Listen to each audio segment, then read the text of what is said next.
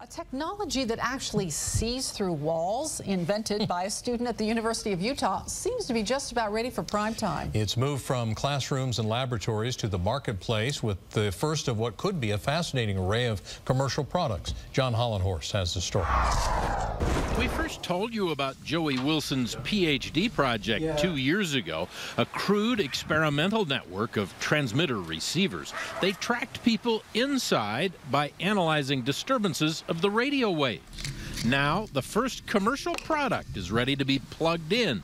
Wilson's company, Xandem, even has its first customer, a penthouse owner in Dubai. We're ready to generate revenue. Do I think we've solved the problems that we want to solve? Not, not even close. Uh, we're, we're at the tip of the iceberg on what this technology can do. Transceiver units can be hidden behind a couch, closed up in a kitchen cabinet, even inside walls. When connected to a standard alarm unit, well... If either of us moves, this, the alarm's going to sound. You see that? It didn't take much. Didn't take much.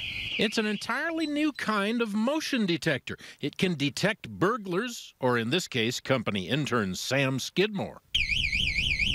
Wilson says it has big advantages over the infrared detectors on the market now. They're very prone to false alarms because they're sensitive to heat. A big advantage is that the detectors can see right through walls. There are no detectors in this bathroom, but a little bit of movement sets it off. Burglar detection is just the beginning. Wilson envisions a system that tracks people and can send out email.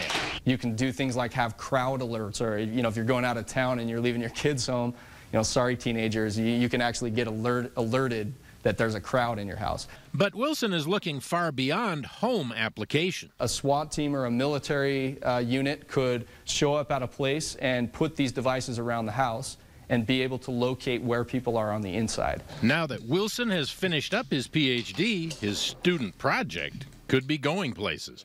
John Hollenhorst, KSL 5 News. Wilson gives much of the credit to his PhD advisor, Professor Neil Patwari. The University of Utah is part owner of Wilson's company and will share in any profits. Don't move.